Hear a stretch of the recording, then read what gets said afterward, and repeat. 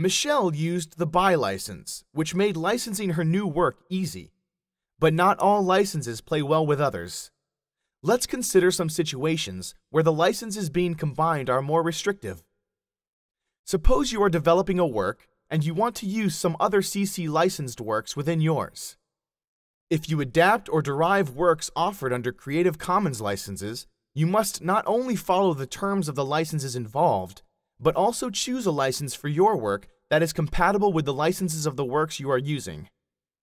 If a license of a work you want to use is not compatible with yours or another work you plan to use, search for a comparable work with a compatible license, or try to contact the rights holder and request permission to use the work under your license. New email. So which licenses are compatible and which are not? The BY license is compatible with any other Creative Commons license, so you can use it with attribution, of course, any way you like. Sometimes the BY license has the no derivatives or ND provision. The ND provision prohibits the works from being adapted, revised, or combined at all. With a share alike or SA provision, your new work must have an identical license as the source content. In other words, this license lets others remix, tweak, and build upon a work, as long as they credit the creator and license their derivatives under identical terms. Finally, the non-commercial or NC provision makes the license compatible with any of the three licenses with an NC component. By NC itself, BY NCSA, or even by NC and D. This is Andrea and Charles. Hi. Hello. They are each developing their own chapters of an open textbook to be licensed separately. That's right.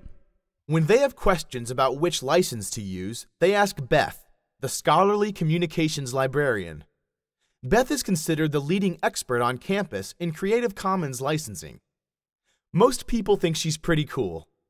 Andrea and Charles would agree. Andrea has found two resources that she wants to use with her own writing.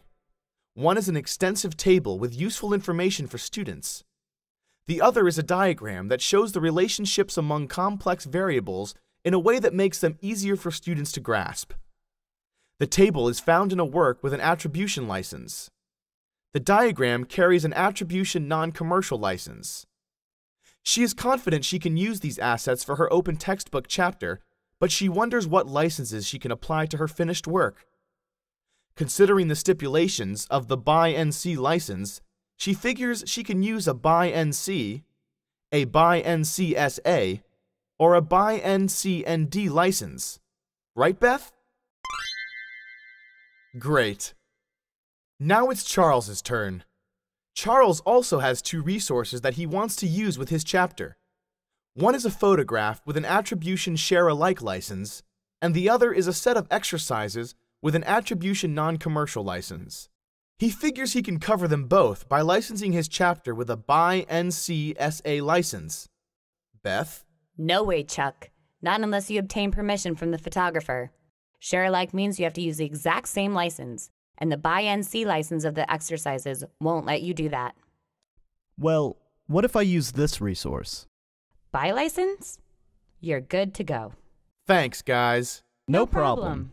When it comes down to it, some combinations of licenses just aren't compatible, and some combinations, like Andrea's, give several options.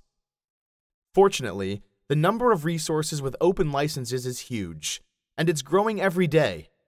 So don't give up if the work you want to use has an incompatible license.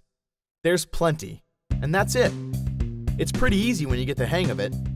Now you'll be able to produce properly licensed open educational resources that could benefit many people. So good luck!